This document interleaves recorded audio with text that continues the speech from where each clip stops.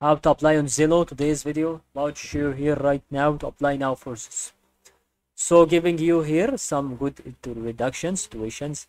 It's going to be related to that as you can underestimate and see it about to help you guys through the rental application. Through what's going on here on that level as you can see about that over the placement where we are going now through that over the site or over the moment through the setup for the application the rental application through that. Which is going to be about this over here on the personal information or uh, household information and residenal and also to be going on here on this one. By the way we will also start to understand through this kind of thing that is going to be on through this level. So thank you guys for watching this video and i hope you see that should be understood through that and good luck